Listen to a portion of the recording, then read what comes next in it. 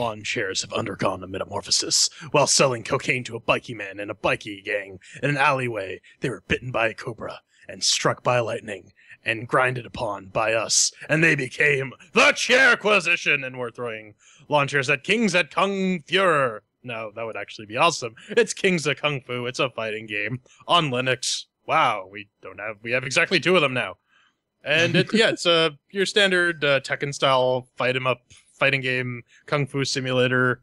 It's nine ninety nine. It's built on the Unity engine, and you can tell from the Pulse Audio underruns. It's built by Jay Lee Productions and inspired by classic kung fu films. This passion fueled fighter provides one versus one gameplay for gamers of all skill levels. Yeah, just look at the AI. Take one on the role of one of 14 martial arts stunt masters as you fight to show which style cannot be beat. And of course, with the Chairquisition, we get the chair acquisition. One chair means that it's garbage. Two chairs means that it's ma- three chairs means that's pretty good, and four chairs means that's amazing. It is Kung Fury level of, of awesome, and we also have our categories mixed with the working shiny sounds, controls, and fun. So let's kick this off. Ven did Kings of Kung Fu make with the working? Well, let's see. How did it work on the 8150 octo-core Ubuntu 1404 980 powered 4K displayed box of business? Well, Brad, we got some issues. This thing does not detect resolution properly. Period.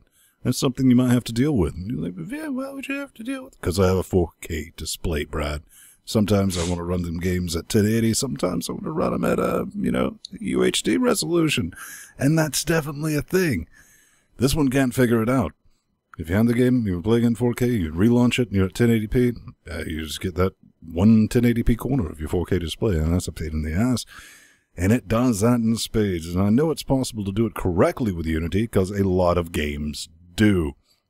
But when you mix that in, I'm just going to say this. First of all, if you do that, you just lose two chairs. Automatically. Period. I'm sorry, I'm tired of this. But you got to mix that in with the way this thing sets resolutions. I have not seen a more jankier resolution setting since the days of fucking DOS.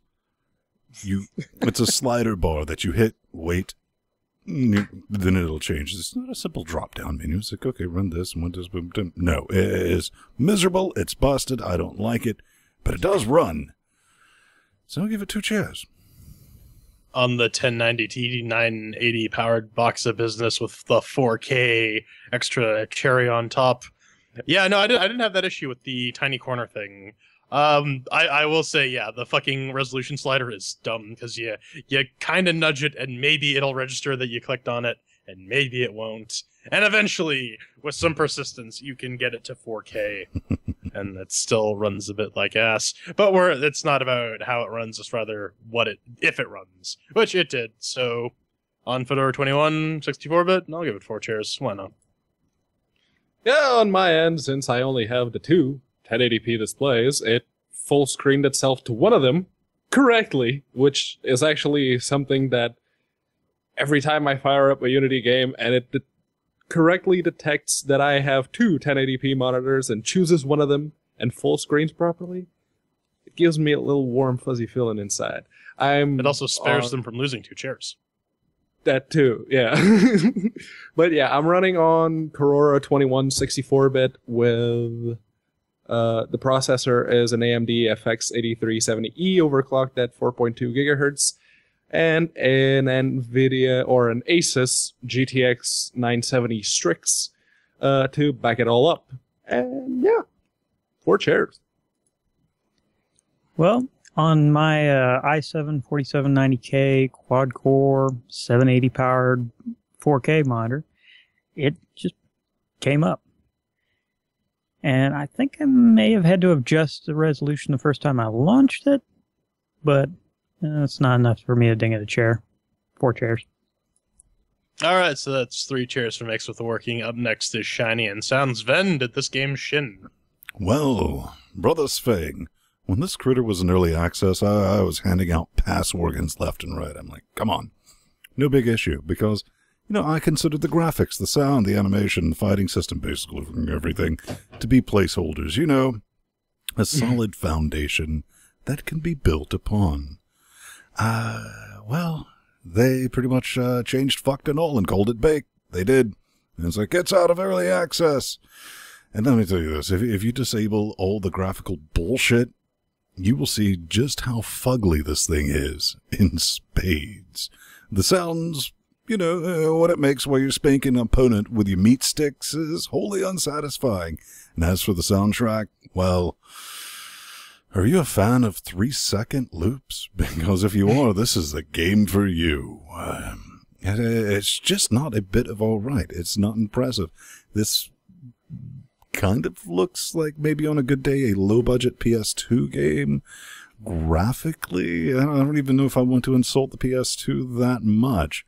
And the sounds, they are repetitive, uh, though everyone else is going to get a lot more than that. But my main ding was, yeah, here's your level soundtrack, three seconds over and over and over and over. Slayer!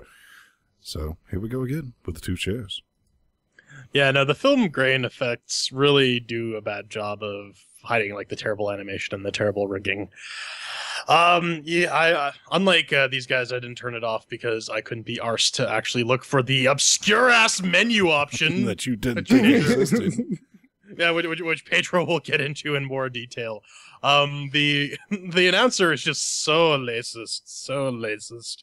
If uh, I don't know, probably in post we're not going to do it, but throw up the little uh, black kid with the "that's racist" gif. And yeah, the soundtrack is just kind of meh. I ended up uh, muting it because, like like any game based on Unity 4, Pulse Audio underruns out the wazoo, and maybe sometimes it'll decide that the sound is gonna work, so it's gonna get two chairs. Yeah, fun fact. Uh, it, it the soundtrack, as bad as it may be, I didn't mind it so much, but it was pretty repetitive. But, and he, this is the fun part. If you go to the folder where Steam dumped all the game files, you can actually find a separate folder with the soundtrack. Yeah. But can So, you uh, replace yeah. it with your own music? It's the real question. So uh, yeah, it doesn't look particularly good. The film grain effect makes everything look blurry as balls, and uh, I honestly, even though they gave me the option to turn it off, I didn't fucking find it until Ven pointed it out. So yeah, gets a ding from a chair right there. Uh, and uh, the rest of the graphics options, yeah, you get the Unity slider of nope you want to disable, I don't know, anti-aliasing, want to try a different type of anti-aliasing, uh, want to set an anisotropic filtering, want to set VSync, want to, I don't know, the staples of PC gaming, as it were, you can't change them. All you get is a fucking slider. And like I said earlier, I don't mind the background music so much, but that fucking announcer screaming, very good! Whenever someone makes a two hit combo got real old real fast. And guess what? They don't have a, a separate slider to control the announcer's voice. So if you want him to shut the fuck up, you'll have to mute the sound effects, and then all you get is the crappy background music. Two chairs. Welcome to 2004. We have nice graphics. Uh, I, I, I, uh, I also didn't know there was graphical options until Ben pointed out, and yeah, that, that they don't seem to do much. One thing that it really needs though is the ability to turn on VSync. so that that can't work either. yeah. So so that can be totally busted. And yeah, the soundtrack, the everybody's already mentioned that it's repetitive, and it is. Two chairs.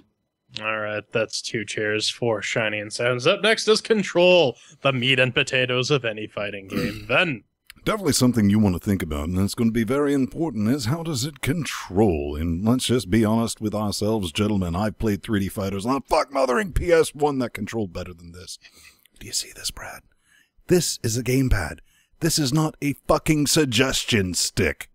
I'm sorry. Seriously, I gave up trying to execute the special moves. There was no point. Button mashing has the same othering effect. And if you're watching this in post, the video you're seeing behind us right now, that's just me sitting here just mashing buttons for 20 minutes and kicking ass. Control i- is just abysmal. I mean, when I say suggestion sticks, yeah, just, uh, I want you to move, uh, uh, try to grab. The throw, I can never execute a throw to save my fucking life in a real fight with the AI. I mean, you can do it on training mode, but that really doesn't damn count. Yeah. With a fighting game, you need to have tight controls. Floaty would be a compliment to this game, and they're undeserving of the word floaty controls. This is just, yeah, it might move, it might not. Who knows? And I'm not going to play it with a damn keyboard. But, in all fairness, they do work. So I'm still going to have to give it two chairs. Yeah, um, uh, the default controller mappings didn't outright work on the PlayStation 4 controller, which I'm pulling up right now for audio listening bros. Uh, but it did detect them, and you can actually remap the controls, which is nice. Something that you know Skullgirls doesn't let you do. Something that you should be able to do in a fighting game to better accommodate your particular style of play. But all that is that's all well and good until you try and execute combos, like Ven said, which will execute when they fucking feel like it. um and and and that's and that's really where the all my the controls lie is part of the ability to play a fighting game is to actually be able to execute combos which you really can't but that's fine because there's enough fuckbox combos here that'll just let you fuck some guy in a corner to death that you really don't need to worry about it yeah the controls are a little floaty but I mean, eh, they, they work well enough, especially if you're fighting against the AI. Fighting against another human being, that's well, we're never going to find that out because we're never going to play this game again. Three chairs. Yeah. You know, I don't mind playing fighting games with a keyboard. I beat and just a little disclaimer before I get I get into it. I never thought that I'd be using Skullgirls as a positive example for a game on Linux. But here we are. I have beaten the entire Skullgirl story mode in nightmare mode with the keyboard. And it's still working. I haven't smacked it through the desk yet, so that's good. Uh, but that's because Skullgirls has tight controls. This busted ass piece of shit will barely register anything more complex than a three or four hit combo. It's a pain in the ass. Oh, and the hitboxes are slightly larger than the character models because every now and again there'll be like a 10 or 20 pixel distance between a kick from the AI and my character for some reason still gets hit. It gets three chairs on a technicality, but I, for one, simply can't play a beat 'em up game on uh, a keyboard. So luckily, it picked up this uh, 360 controller. Uh, any game where I can't control the menu with the D-pad and the navigation with the thumbstick is in the least bit floaty, and it is in this game, it's going to get dinged a chair automatically right then and there. And I got to dig in another chair because the controls lack the precision to execute any kind of combo moves. Two chairs. All right, so that's two chairs for control. And finally, the cherry on top, the part you've been waiting for, the fun section. Ven, did you have fun playing Kings of Kung Fu? Kung Fu. Kung Fu. Kung yes. Fuhrer. Uh, well, Brad, let me just go ahead and start off by saying the AI in this game is pants on heads retarded. okay, let's get that out of the way. yes. You know, I played it on easy for like 20 plus minutes using the um, patented five fingered button mashing technique. No offense, Pedro. Um, only died once, and uh, let me tell you, easy is where you genuinely want to play this game. Higher than that, uh, prepare to get killed to death because the CPU has the ability to. I don't know. What's, oh, execute moves. It does have that ability, which you do not, but I already hear you. Vin, I'm blaming the controls of the truth. You can't really play! Exclamation 11. Oh, all right. uh, Well, listen, Brad. I have Skullgirls, and I've gotten my ass organ handed to me repeatedly for the first like two or three hours while I was learning how to play that game. Now I can get about halfway up through the fucking ladder in the story mode. I'm getting better at it. How did I pull off this magical moon mystery? Well, let me tell you, I was able to learn the moves and get this. This is a good part. Pull them off, actually execute them. Unlike this game, there's no chance of that shit.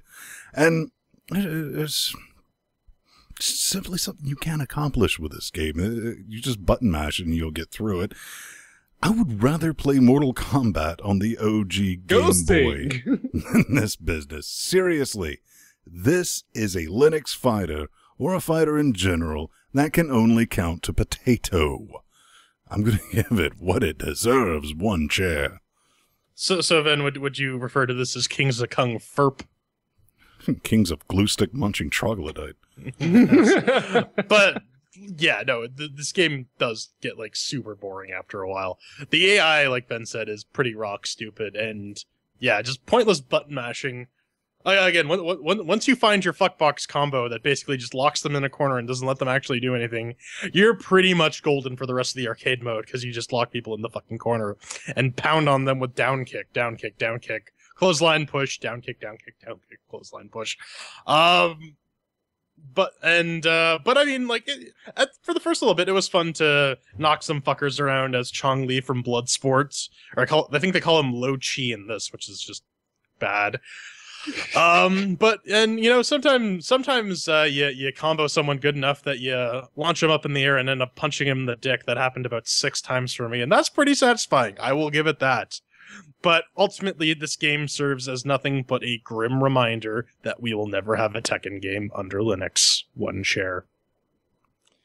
Yeah, I played through the arcade mode with a single character and unlocked five of the game's total of 12 achievements. I saw all those notifications come up and I'm like, okay, I think I'm done with this That's game. because you were playing as Hung Low. with, with, with, with his down kick, which is his third leg.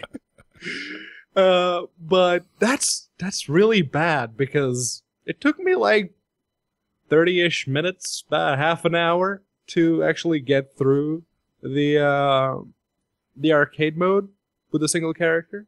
And that's still very much within the refund window. You're losing people to this game. There's no one chair. Uh, this game isn't quite boring enough for me to never play it again, but I don't think I'll be playing it alone again. Might make it a okay social game, assuming it supports local multiplayer. Hmm Assuming you'll does. find anyone who wants to play it with you. I'll give it two Yeah. chairs. Yeah, yeah, like Pedro said, good luck finding anyone who actually wants to play this turd. That's one chair for fun. And if we tally everything up, surprise, surprise, it actually does squeak away with two whole chairs for on account of not being entirely busted. It's not sure if want. I'm pretty sure that I don't want it. Yeah. but these, f- uh, to to be fair, they did send us some keys, full disclosure. So there is that. So, gentlemen, uh, actually, yeah, it's uh, final thoughts. Uh, like I said, I, I think this came out of early access way too soon, and there's a bit of controversy about this game because early on they said we're going to have online multiplayer, and a lot of people backed it for that and got it for that, and they're like, "Yeah, we're not going to have online multiplayer." Psych. Um, I don't know if that was intentional, or if they just couldn't figure out the netcode and all that business. Like I said, when I first Unity played is this, hard, you guys. you can go back and find the episode. when they first sent us the keys, I was thinking, oh, God, somebody's trying to make a fighting game. This is going to be complete shit. Then I played it, and I was like, that's a pretty good um, game for early access. I mean, they got the, the basics there. I mean, yes, they're going to have to do, you know, rework the art, rework the music, get the fighting, make it look like the fighters are not marionettes and all that business. But they didn't. Why they didn't is beyond me. It's beyond my personal fucking comprehension. They just put it out. They, they they had the core of something that could have been cool as fuck. I mean, 70s kung fu. I watched that. I like that. Not as much as um what's his name and Jennifer Anderson and um Office Oh, Space. Office Space. Yeah, Yeah. not quite that much, but I know about it, and this does not resemble any of that. It doesn't really bring anything back. P baby. Yeah, no. I mean, finishing the arcade mode is mostly what most people do. They get the game, they play the arcade mode, especially fighting games, they play the arcade mode, and like, yeah, I beat it. And they set it off to the side. Of course, that was back in the day where Steam refunds were not a thing. Now they are. They're like, oh, that that's it? That's all I'm going to be doing with the game? Uh, there's no online multiplayer? Then what's the point? They're just going to go back to the Steam store and ask for a refund. Now, in all fairness, they are still updating the game. But they Yeah. are. Yeah, but they're what, going what, to have what, to what, update what is the a internal lot. version of this? Like two billion three hundred ninety-seven thousand point nine nine nine two six five e to the power of ten version minus. We Yeah. added a character. All right, wrap it up, ass. Uh, it feels apathetic to me. Like they Didn't just know kind of understand big word. They just kind of built it and then they're like, eh, fuck it, we're we're, we're done. YOLO. Yep. Yeah. Um, spe- speaking of uh, speaking of the old 1970s kung fu TV series, this game reminds me that I would rather be performing autoerotic asphyxiation than playing this game.